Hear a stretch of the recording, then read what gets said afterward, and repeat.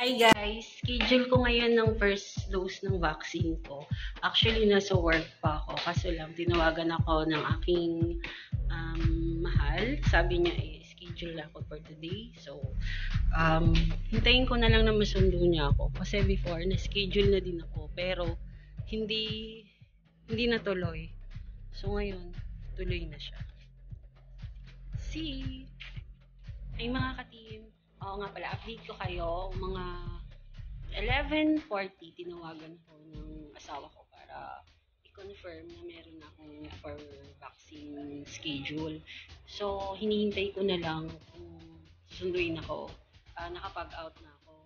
May pasok kasi ako today, unexpected na magkakaroon ng vaccine schedule. Kasi nga, uh, wala na nang tumawag sa akin. So, may, ayun, may kakilala lang para para maisingit tayo sana maging okay yung aking uh, vaccination na gagawin mamaya. Kasi hindi ko alam merong halong ako ka ba tsaka na exercise so yun na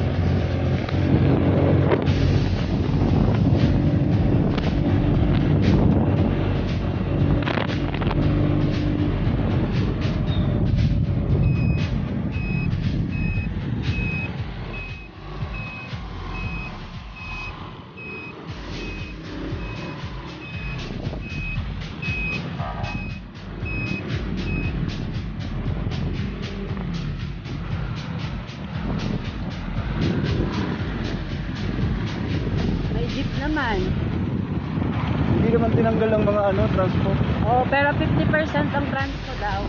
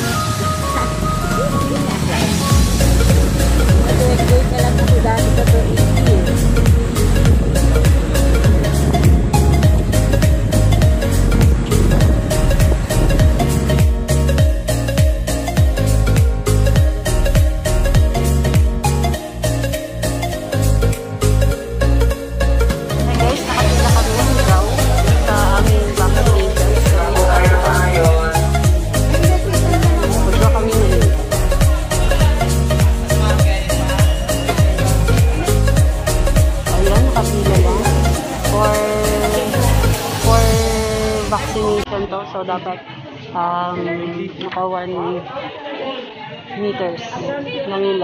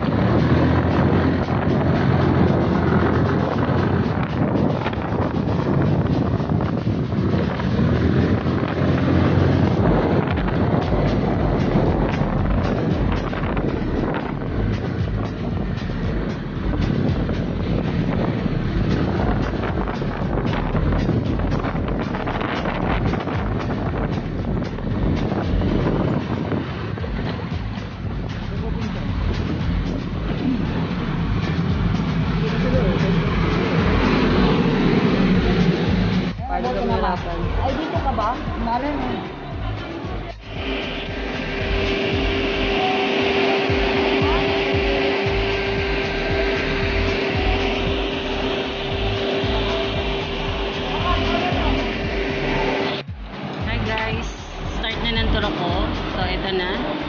Kinakabahan ako.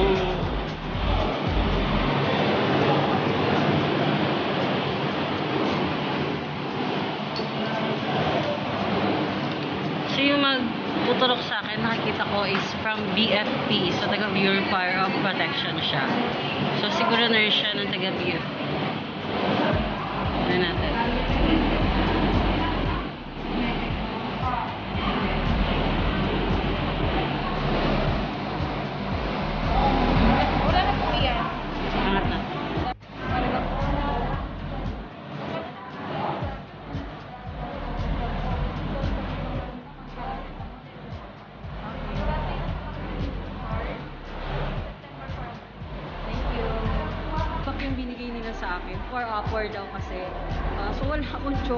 Gusto ko ng gantong tarak, no?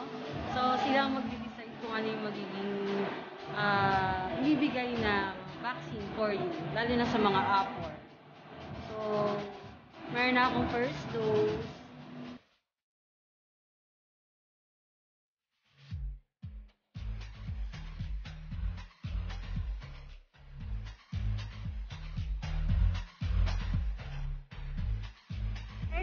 So, tapos na kami mabakunahan nung kasama ko. Um, so far, wala pa kami masyadong nararamdaman kung masakit ba siya o nakakangalay. Wala pa naman siyang 15 minutes na nasa aking katawan. So, ayan pa oh, ang dami pa nila. Nasa likod. So, ang dami namin kanina. Mabilis lang ang proseso dito. Kasi dumating ako dito is 12.30. So, sa 3.30 na,